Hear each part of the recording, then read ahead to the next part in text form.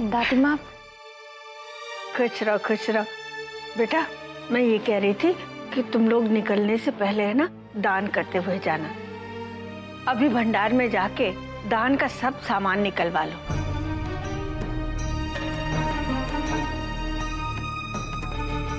चंद्रू बेटा आप जाओ। उर्मी। जी दादी माँ आप जाओ बहू जी के साथ और सामान निकलवाओ। जी। क्या हुआ बेटा? कोई काम था? कहीं जाना था? नहीं दादी माँ। आइए। और हाँ सुनो।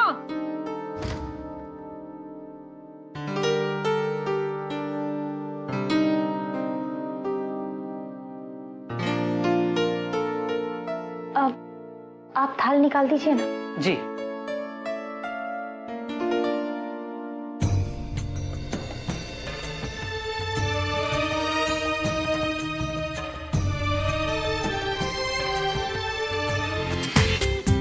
पूरा एपिसोड देखिए Z5 पर।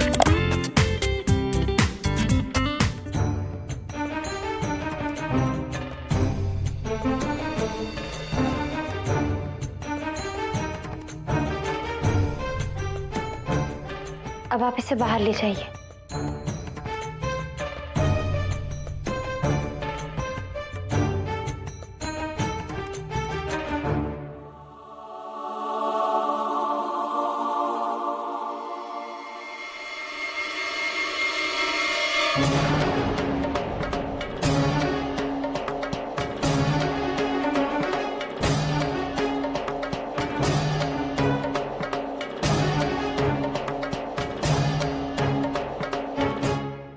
देख लिया है। सारी तैयारियाँ हो गई हैं। बहुत अच्छा। अब जल्दी से सबको नाश्ता भी करवा दो जी। ताकि समय पर निकल सके। जी। रुको रुको। हाय हाय। हम भी तो देखें छोटी बहू ने क्या क्या रखवाया है?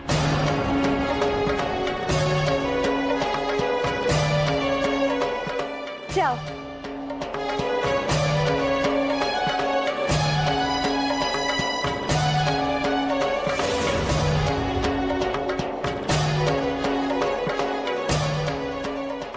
दीपिका बस भी करो बेटा। छोटी बहू ने थाल सजवाए हैं तो सब सही होगा। जी दादी माँ। चंद्रू ये सब थालियाँ सफ़ेद वाली गाड़ी में रखवा दो। जा। चलो बेटा हम दूसरी तैयारियाँ भी देख लें। आजा जी। चंद्रू काका चंद्रू काका एक मिनट।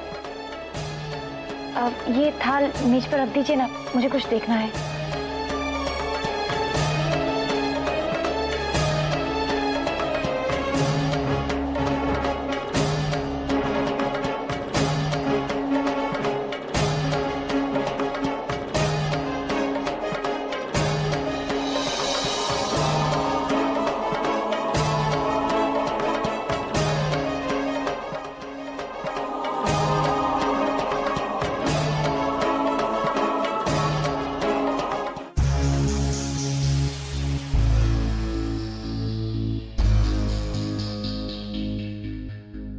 राधिका?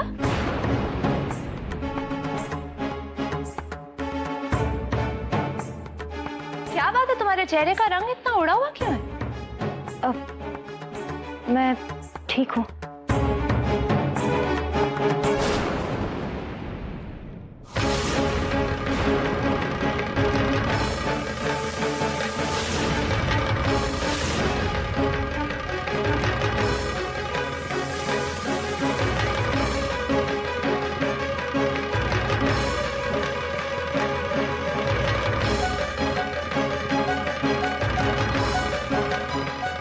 राधिका तुम्हारे पास इतने पैसे कैसे?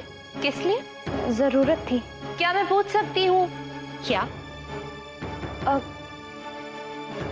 आप पूछ सकती हैं लेकिन मैं बताना ज़रूरी नहीं समझती। ज़रूरी है। तुम्हें इस घर की तिजोरी की चाबियाँ इसलिए नहीं मिली है ताकि तुम अपनी मनमानी करती रहो। और याद रखो रिमेम्बर तुम इस घर की छोटी बहू हो कोई मालकिन नहीं। छोटी बहू? बेटा क्या हुआ? क्या बात है छोटी बहू? दादी माँ दादी माँ मैं यहाँ आपके सामने खड़ी कभी तो मुझसे भी पूछ लीजिए कि क्या बात है बड़ी बहू। ज़रूरी नहीं है कि हर बार आपकी छोटी बहू के पास ये हो आपको कुछ बताने के लिए। अच्छा बाबा तुम ही बता दो क्या हुआ है। ये ये आपकी छोटी बहू अपनी शॉल में पैसे छुपा रही थी। मैंने पूछ लिया कि क्या करूँगी इतने पैसों का तो बस नाराज़ हो गई पलट के जवाब देने लगी। बड़ी बहू। अच्छा। तो तिजोरी की चाबी का यह फ़ायदा उठाया जा रहा है। मैं इन पैसों को लेकर अपने पति और अपने परिवार को धोखा नहीं दे सकती। मैं उनका विश्वास नहीं तोड़ सकती।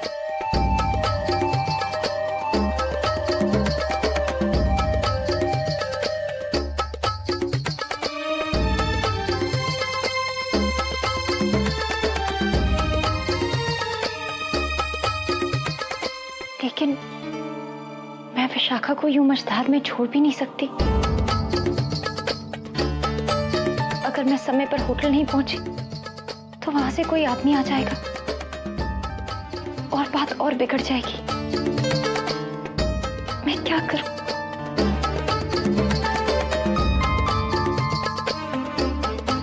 क्या करूँ? कहाँ से पैसे लाऊं?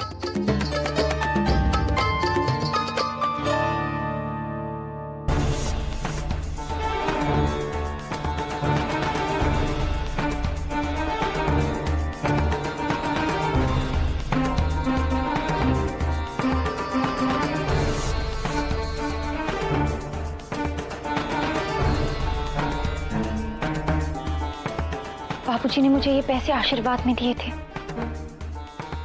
इनका इससे अच्छा इस्तेमाल और कहाँ हो सकता है? मैं उनकी बेटी और अपनी बहन के लिए ये पैसे इस्तेमाल कर रही हूँ।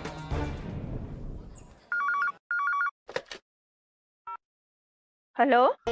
राधे राधे माँ जी। शास्त्री जी राधे राधे कैसे हैं आप? बस ठाकुर जी की कृपा है माँ जी। अच्छा हुआ आपने अभी फ़ोन कर लिया। हम लोग भी सब तक्षक राज के गुफा की तरफ़ ही जाने के लिए निकलने वाले थे। माँ जी आपकी ओर से कलश बांधने के लिए कोई निकला है घर से पूर्व में?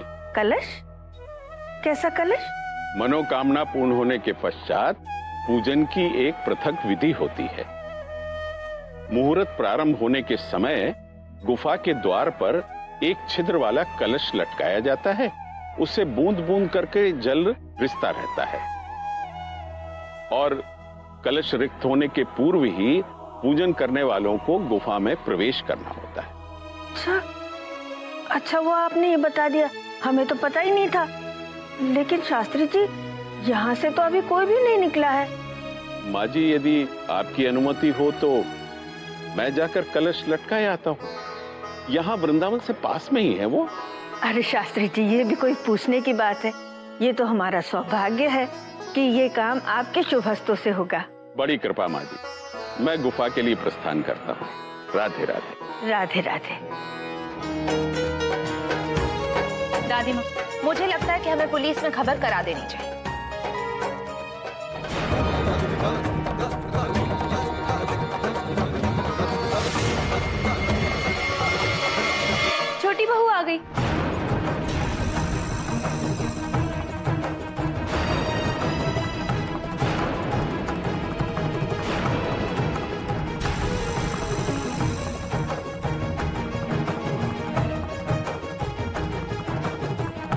तुम कहाँ चली गई थी राधिका? बताओ राधिका कहाँ गई थी तुम? सब कितनी चिंता कर रहे थे।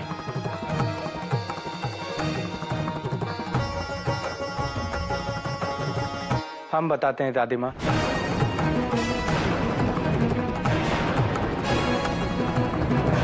कि राधिका भौजी कहाँ गई थी?